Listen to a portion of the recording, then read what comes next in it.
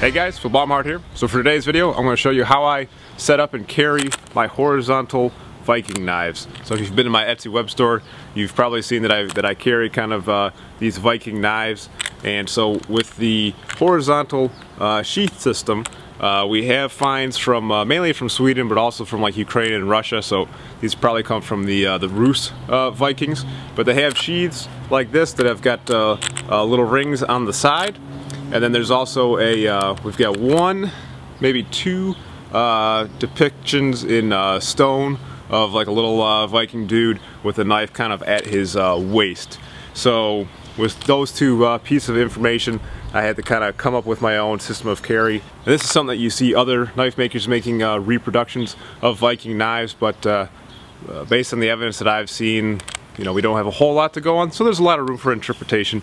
So uh, I'm going to show you how I set it up for this style of knife. So if you buy one of my Viking knives, it's going to come with these uh, two of these leather uh, straps with toggles on the end. I, I kind of like to call these uh, jesses because it uh, I kind of took inspiration from these from uh, uh, falconry.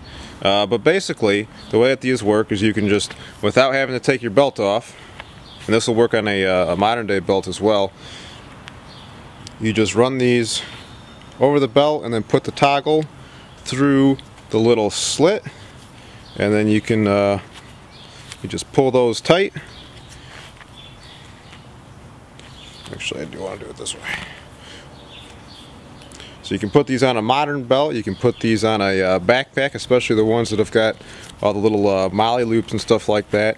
There's a lot of uh, options with these. So the the uh, sheath works and I've got this one uh, wet molded so it's actually got uh, really good uh, retention.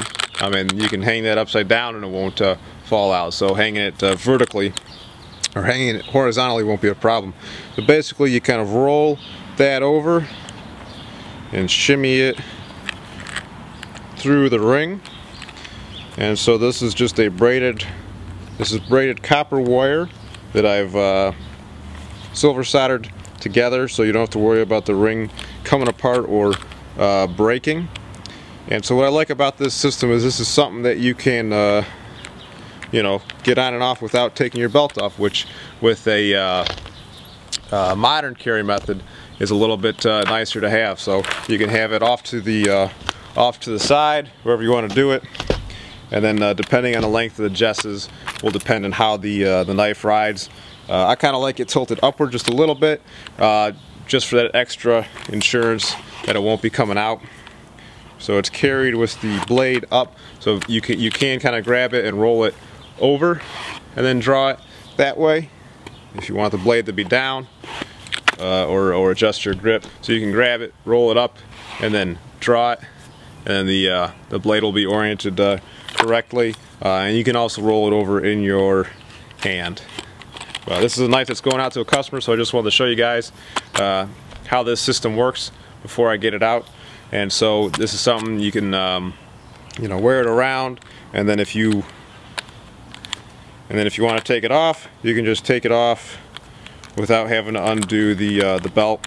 But it's a secure method. You can see how it's it's easy to get these off, but it's not uh, super easy. It's like you know not super quick, so it's not something that's gonna come off accidentally. You could suspend it, you know, if it's a smaller knife, you could suspend it by, uh, by one if you want to. Um, and then this way you can uh, put this where you want. You can leave these on your belt, uh, whatever the case may be.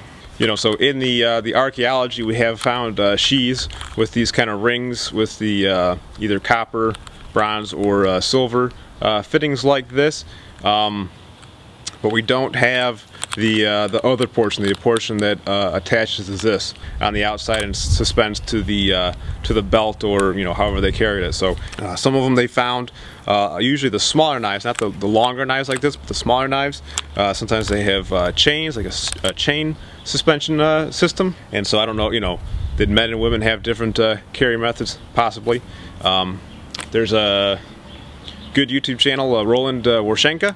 He's uh, uh, German, I believe, and he does a Viking reenactment and kind of reconstructive uh, archaeology, experimental archaeology with how uh, the Vikings fought. I don't always agree with his methods, but they are interesting, so probably some of you guys uh, also subscribe to his channel.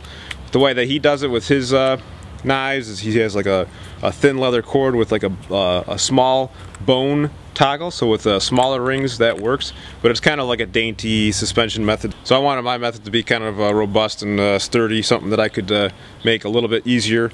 Uh, so these leather toggles like this I got from the uh, some Viking shoes. So this is what I do for my Viking axe sheaths. I put this on here instead of a snap. So this is kind of in keeping with the my Blackheart Forge aesthetic so I like this suspension method very useful but uh, you know, if you guys are looking on the uh, the Etsy web store, uh, now you know how these uh, go on and how they work. And so you can uh, you can undo the belt, but you can also just take these off without uh, undoing the whole belt.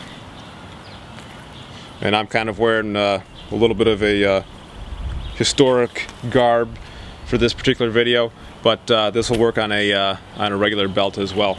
So the other type of Viking knife sheath for horizontal carry is going to be this kind with the uh, the permanent uh, belt loops. So what's interesting about this is this is probably the one that you see uh, done the most, but actually we don't in the historic finds. You know, we have the sheath with this you know metal attachment, and sometimes the leather is preserved. Uh, the wood often is preserved, um, but there isn't this metal bit right here, this uh, attachment point, nor is there any sort of leather there. So that's why the kind of toggle system is what uh, guys like Roland Wershenka have come up with. With this style, you have to take your belt off.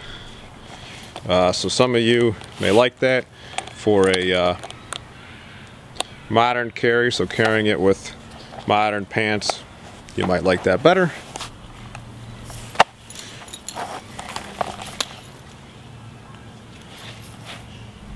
Okay, so there you go. So this can be worn on the front or on the uh, the back the archaeology kind of indicates that these are worn on the front, but we don't have a lot of evidence for either way. But with these kind of longer knives, wearing on the front seems to be the most uh, comfortable because you can always kind of see it's there.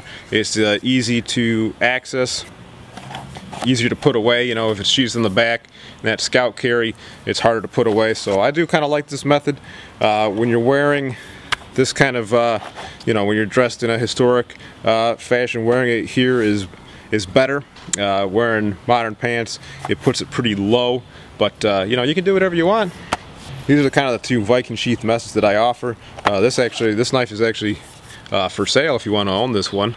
Alright, well hopefully you guys enjoyed the video and if you're uh, shopping around for uh, Viking knives, hopefully that uh, kind of gave you some insight on how these are meant to be carried and how useful they can be. So, as always, thanks for watching and until next time, be more Viking.